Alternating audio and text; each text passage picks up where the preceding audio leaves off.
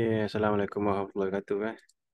Uh, untuk sesi ni saya nak share uh, cara untuk kita display seven segment kat kita punya Arduino Multi Learning Shield uh, menggunakan timer. Eh. Kita akan gunakan timer Team 6. So saya start daripada awal. Eh. Saya start dari basic. Uh, sini kita type lah kita punya nama board STM32L053R8T6. Okay. Ini dah ada. Klik next. Bagilah nama apa-apa saja. Okay. And then kita klik finish. ASDQWER eh. So nanti di tengah generate kita punya IOC. Eh, dia tengah generate IOC kita. Lepas tu kita nak close unrelated projects. Eh. Sebab nanti kan dia mengganggu. Eh.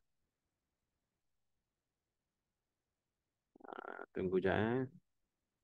So untuk pakai server segment ni, eh, wiring dia PA8, PA9, PB5. Okay, ini kita punya active project. Kita just close unrelated project supaya lain semua tak aktif. Eh, kita nak onkan kita punya PA 8 eh, wiring kita eh PA8 output PA9 output.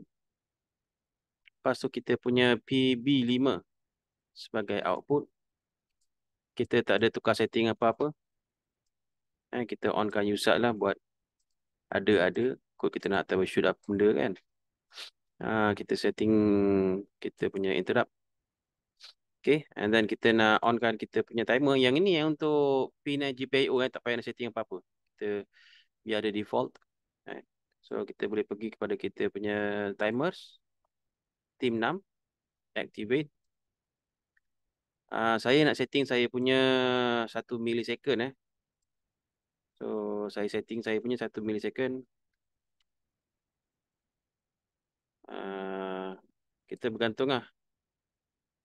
Uh, minimum kita untuk kalau save segment ni dicadangkan 4 millisecond lah at least lah. Uh, 1 millisecond pun okey juga lagi laju lah. So ni kita onkan kita punya timer interrupts. Clock config kita setting kepada 24 MHz. Dah siap kita dah boleh klik device code generate. Ini saya buat untuk server segment je. Eh. Saya tak buat lain eh. Jadi kita akan gunakan kita punya uh, apa? Kita punya library ya. Uh, library nanti driver. Dekat download tadi pradriverq.h eh pradriverq.driver.h kita akan letak dekat include. Okay and then kita punya sini driver C kita drag ke src okay uh, kita buka yang H ni dulu tengok apa cerita eh. So sini A8, A9, B5 betul? And then kita pergi kepada kita punya main.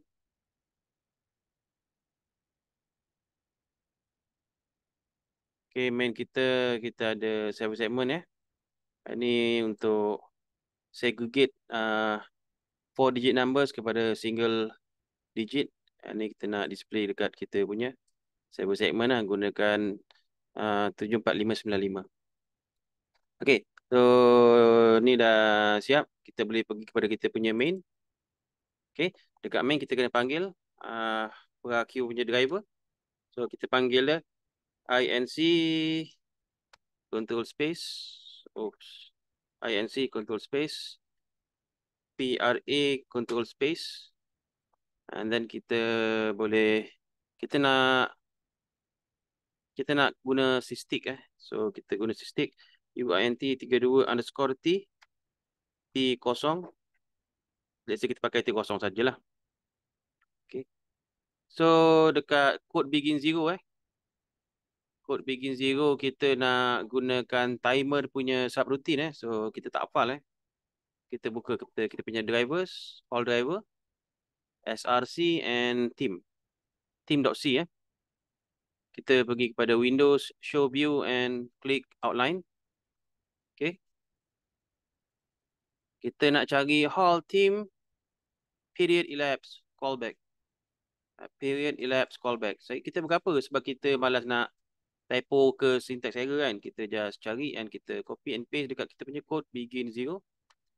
Open curly bracket, automatic close curly bracket. Kita akan check if hteam check ins oops uh, check ins instance control space is equal to team 6 open curly bracket close curly bracket kita nak for every 1 millisecond kita nak suruh dia update kita punya display control space Okay, sekarang ni kita dah ada 1 millisecond untuk display segment. Kita nak clocking dia punya data eh. So, betul-betul sekali kita kena bagi low dulu. BUZ, control space.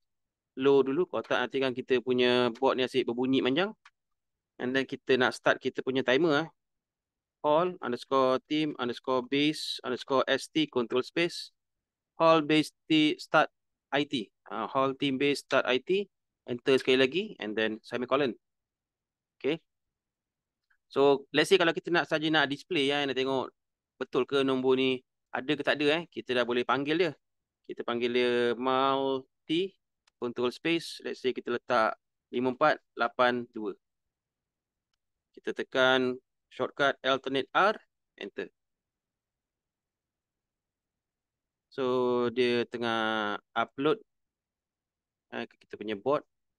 Kita tengok ada tak nombor 5482 dekat kita punya server segment. Eh? Kalau dah okey, kita buat sekejap untuk counting. Uh, increment value for every one millis for every one second. Uh, lepas tu nanti kita tengok number tu tengah increment counting lah. Okay. Uh, tu. 5482 eh. Saya tekan sekali lagi reset eh. Okay, 5482. Uh, so number ni fixed value eh. Kalau kita nak increment dia eh. Kita guna sysdig lah untuk mudah sikit kerja kita. Kita let's declare uint. Uh, 8 cukup lah. 8 underscore t. Counter is equal to 0. And then kita start kita punya sysdig. Uh, sysdig kita tak start tadi. So code begin 2. Setiap ingat eh. Right. Uh, kita punya programs in between begin and end eh. So kita nak start kita punya sysdig. T0 is equal to whole underscore GETT control space enter semicolon and then kita check if T0 slash then hall underscore GETT control space enter. Enter open curly bracket. Enter sekali lagi automatic close curly bracket. T0 plus is equal to kata di sini for every one second eh. Uh, kita akan update multiplex. Let's say CNT and then kita kata if CNT let's say sini plus plus CNT kalau bigger daripada 10 lah tapi bigger 10 lah bigger 9 je lah so kita main satu digit saja kita akan cakap counter is equal to 0 alternate R enter So 5482 ni patutnya tak nampak lah sebab dia laju lah. Dia terus masuk kepada while. Uh, while kita kita start kita punya system increment multiplex segment eh. Ah tu ada. So lepas 9 dia jadi kosong ah. 7 8 9 balik kosong. Lepas tu dia count lagi lah. Okay. So tu aja demo untuk kita punya uh, segment menggunakan uh, kita punya timer. Uh, kita guna timer team 6. Uh, saja terima kasih.